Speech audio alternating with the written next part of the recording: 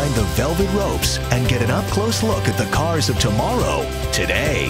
The International Auto Show, Sunday, only on NBC.